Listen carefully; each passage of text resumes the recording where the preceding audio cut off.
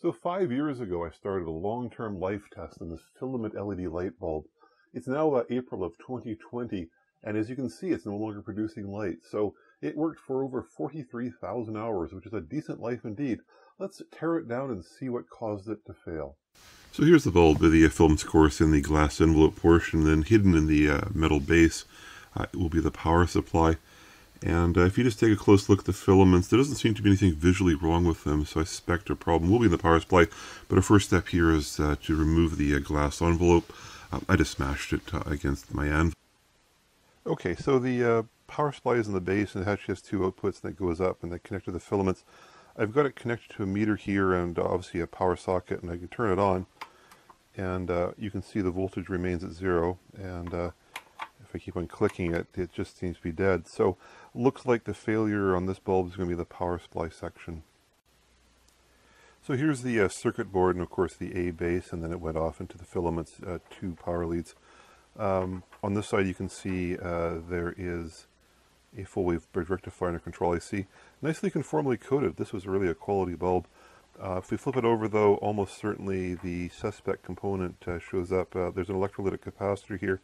If you look closely, uh, it's bulging on this end, which is almost always a certain sign of an electrolytic that's gone bad. I'll just insert a still picture here, you can see that. Let's uh, measure that capacitor and uh, see if it's uh, way off its value. I suspect it's going to be, and uh, that's probably what caused the assembly to fail. So it's marked as a 4.7 microfarad capacitor, but the uh, meter I have just seems quite confused. It uh, varies between overload and uh, 0.04 microfarads, which is one hundredth of the value it's supposed to be. So something's uh, very wonky going on with this capacitor. So let's look at the assembly a little bit further, and uh, not only do we have a capacitor which is no longer having the right value, uh, but there's a fusible link or fuse in this assembly. There's circled up there in this photograph, and uh, it's actually opened. So we'll bypass that and see if we can get the power supply working. Okay, so I've bypassed the uh, fuse that had opened up and you can see I put a new capacitor on the assembly uh, because the other one was definitely demonstrating it. Uh, it was no longer the capacitance uh, it should be. Uh, I've got the uh, 1 megohm resistor here to just provide a little bit of load because you can see I've knocked off the LEDs as part of taking it apart. on DC voltage here, if I turn it on, I expect now we'll get an output.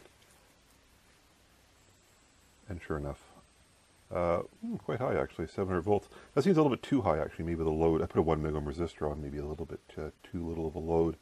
I don't think they have that many LEDs in series, but uh, as kind of expected, this assembly probably failed because the electrolytic capacitor dried out and then eventually the fuse opened up.